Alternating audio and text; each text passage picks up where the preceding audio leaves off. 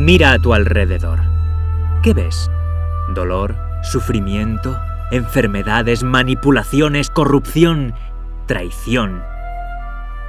Si haces el vacío en tu mente y vuelves a mirar con los ojos de tu alma, te darás cuenta que eso no es la verdadera realidad. Tú eres otra cosa, un ser de luz, de energía viva consciente, inteligente y en ósmosis con el universo. Ya a la venta en libreriacirculorrojo.com.